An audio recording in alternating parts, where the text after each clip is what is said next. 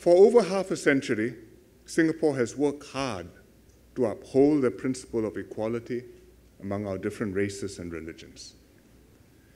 It was over this fundamental principle that we separated from Malaysia in 1965 to become an independent country. Indeed, on the very day that we became independent, Mr. Lee Kuan Yew declared that in Singapore, everybody would have his place, equal language, culture, religion. And our national pledge, which students recite every morning in school, declares that as citizens of Singapore, we pledge ourselves as one united people, regardless of race, language, or religion, to achieve happiness.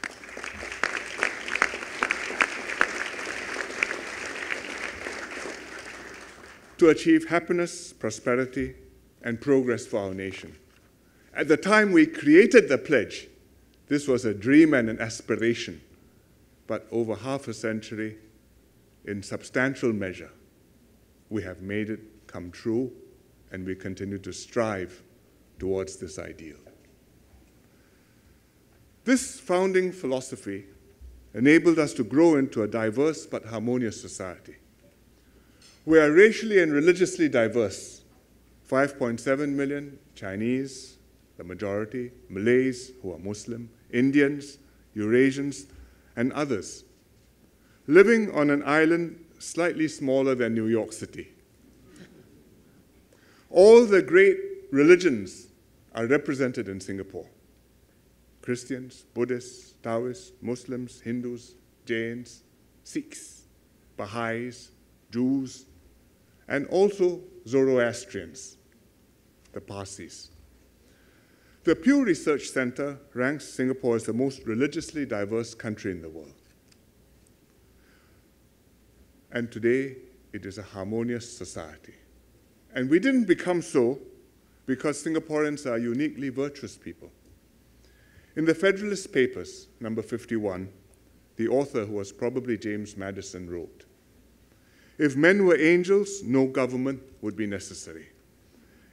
If angels were to govern men, neither external nor internal controls on government would be necessary. Singapore's approach to race and religion is based on a similar insight. We created structures, constitutional, political, social, that discouraged intolerance, curbed chauvinism, and nudged social behavior in positive ways long before nudging became intellectually fashionable. Constitutionally, our state is strictly secular but not anti religious. Our religious communities trust the authorities to treat all faiths completely impartially. Laws are based on the national interest and not on religious commandments. One of the first constitutional measures we passed after independence was to create the Presidential Council for Minority Rights. And this council scrutinizes all legislation to ensure that they do not discriminate against any race or any religious community.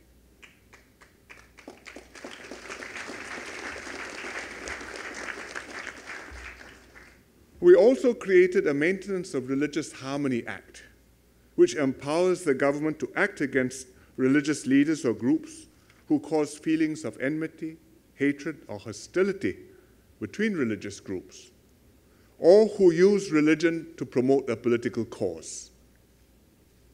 Fortunately, we've never had occasion to use the Act in 30 years of its existence, but its very existence has been of considerable deterrent value. We design electoral rules to encourage multiracial politics instead of the politics of race and religion. In parliamentary elections, political parties are required to present multiracial slates to contest multi member seats.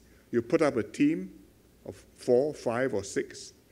One member of the team must belong to a minority race designated for that constituency, and you compete against another team, team against team, and the better team wins. And the point of this is to discourage political parties from championing particular racial or religious groups and dividing our society along primordial fault lines. Because if you do that, you are undermining the minority member of your community. And if you champion your minority rights, you alienate the majority members of your team and you alienate the majority of the members in your constituency, all of which are racially mixed. So this prevents us from being divided along primordial fault lines, and it also guarantees that our parliament will always have a minimum number of legislators from the minority communities so that minorities do not feel shut out. Recently, we took this further. We amended the Constitution to ensure that our president, who is a directly elected head of state, we ensured that he or she will come from one of the minority races if no president from that race has been elected for some time. So it's a fail-safe position.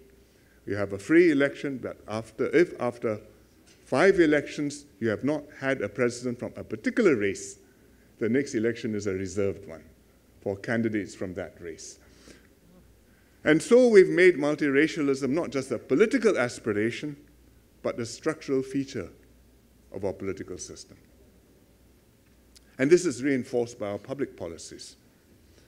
For example, in our public housing estates, where houses, public housing is sold to people, and after some years they can then freely transact and resell the houses. We've ensured that in every township, every precinct, every residential block, we have an ethnically mixed population. Since over 80% of Singaporeans live in public housing, we have no racial enclaves, we have no ghettos. Every part of Singapore looks something like every other part, diverse and multiracial. And every member of parliament looks after a multiracial constituency he does not represent a constituency whose boundaries have been drawn to include only a particular group. Had we not done this and intervened in the housing market, our population would have become racially segregated, as has happened in many other countries, with very serious social consequences. In our schools, students of all races and religions study together. This also the result of having mixed constituencies because they're living in mixed uh, residential areas and therefore they go to schools which are also mixed without being bused. They are all taught a secular national curriculum, even in schools affiliated to religious groups. And in our media, we do not allow blasphemous cartoons, songs, or other offensive materials that denigrate or disparage other races or faiths, whether this is done in the name of entertainment or freedom of speech. Within this constitutional, legal, and policy framework, Singaporeans have learned to live peacefully together. Mosques, temples, churches, synagogues are all within walking distance of one another, and sometimes even hold events together. I went to a Catholic school. There's a church in the school grounds, and across the road from us, there was one of a synagogue. There was a synagogue, one of two in Singapore, catering to a very small Jewish community, a few hundred people, but part of the diversity and the freedom of religion and the harmony of the faiths which we have generated in Singapore. Religious groups make compromises and adjustments in their practices, mindful of the sensitivities of other faiths. For example, mosques tone down their loudspeakers that carry the prayer call, the azan. And to make up for this, we broadcast the azan on national radio. On their part, Christians exercise restraint, proselytizing to people of other faiths. Because to you, it's the gospel, the good news. But to people of other faiths, if it's not done sensitively, it can be taken amiss and, be, and can cause offense. And so we have made our adjustments, we have learned to live harmoniously together. And we've made this accommodation of the faiths not just through our policies and edicts, but in our daily lives. We are also fortunate that religious leaders in Singapore understand the multiracial and religious context and guide our flocks responsibly. They've worked together to promote mutual understanding and strengthen the ties between the groups, for example, through interfaith dialogues. We have an organization in Singapore called the Interreligious Organization, and almost all the faiths are there, and they've existed for 70 years. I just celebrated their 70th birthday with them, and they are probably the oldest such organization in the world.